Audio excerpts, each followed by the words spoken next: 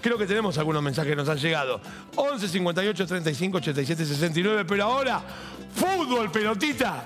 Hablamos de la fecha 5, la última previa al receso por Copa América, que va a ser larguísimo el receso, ¿eh? así que tenemos que agudizar la, espera y, la paciencia para que vuelva el fútbol grande de la Argentina. Claro, pero tenemos Copa América, ah, Copa, Copa Europa. La Eurocopa arranca el viernes con Alemania-Escocia.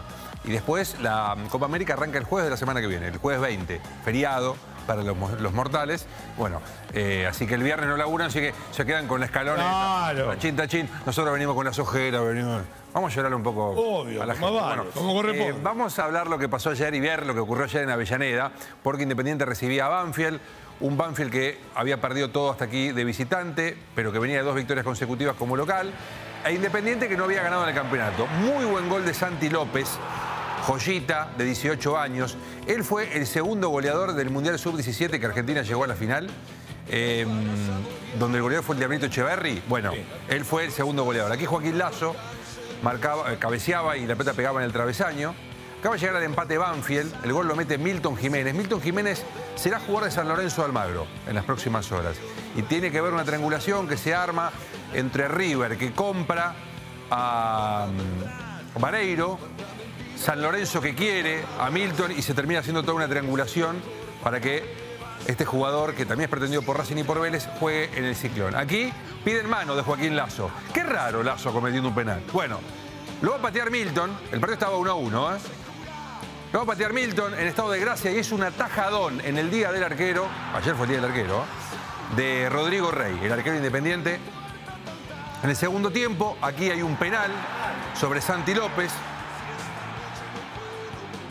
Sobre Alex Luna, perdón, tiene el mismo corte de pelo. Fue sobre Alex Luna, lo cobra Nicolás Ramírez y Gabriel Ábalos, que en algún momento era el Jalan Guaraní, ahora es Gabriel Ábalos, tercer gol en 21 partidos, marcó el 2 a 1. Después Aarón Quirós, para mí un central muy, muy bueno, ¿eh?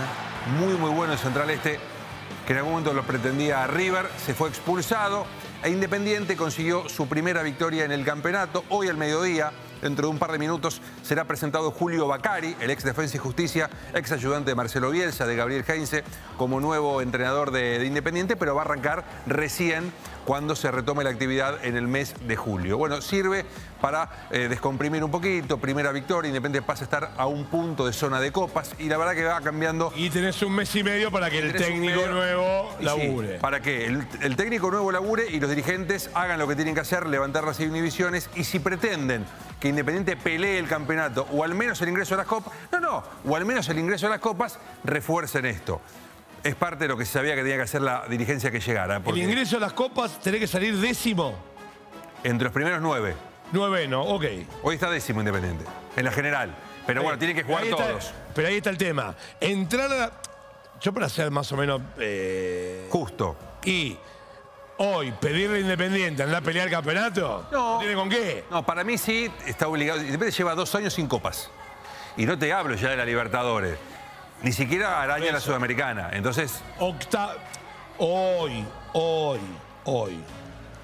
Apuntar un noveno, octavo puesto es realista. Y está todo muy apretado, Nacho. Independiente, si tuviese, no te digo 10 puntos más, si Independiente tuviese 3 puntos más, 13 está a un punto de la Libertadores. Lo que pasa es que está todo muy apretado. faltan 20 fechas. y falta un montón y tienen que completar un montón de equipos esta fecha, con lo cual el rojo puede bajar allí alguna posición. Hoy va a estar jugando River. Sí. A las 3 de la tarde va a jugar en el Guillermo Laza, la casa de, de Deportivo Riestra, pegada a la cancha San Lorenzo. Pegada, ¿eh?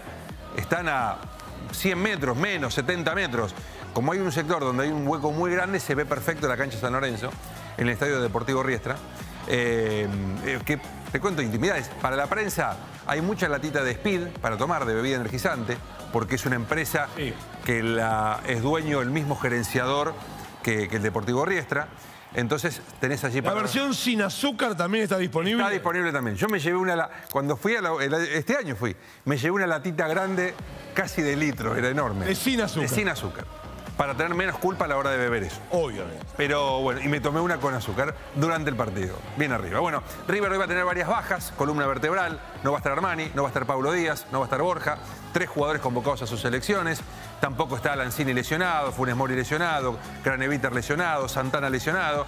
recupera sí a los jugadores que venían trabajando con la sub-23, Sí. eh, como em, Solari, Solari, el Diablito Echeverry también, que ellos sí van a ser de la partida. Bueno, algunas bajas que va a tener River y algunas presencias que del Millonario hoy para jugar contra Deportivo Riestra a las 3 de la tarde. ¿Por qué juegan tan temprano? Porque no tiene sistema lumínico el estadio de, em, del Deportivo Riestra, entonces se juega el partido a esa hora. Vamos a compartir la placa con los partidos de hoy. Mira, 3 de la tarde. Que en principio estaba tres y media, pero creo que nadie predijo que ya a esta altura del año, 17.30, la luz del sol ya se escondió. Y como no entra tanta gente, con los celulares tampoco se puede alumbrar. Exactamente. Así que a las 3 de la tarde van a jugar Riestra contra River. Porque aparte hay poca capacidad en el estadio de Claro. ¿Y, 3.000 se está nublado? ¿Y se está nublado? Claro, 3.000 personas, de nada. Y hoy está nublado por el momento. Bueno, 7 de la tarde, Seba Domínguez para tratar de conseguir su primera victoria contra Belgrano en el José de la Giovana. Sarmiento a la misma hora va a jugar contra Estudiantes de La Plata.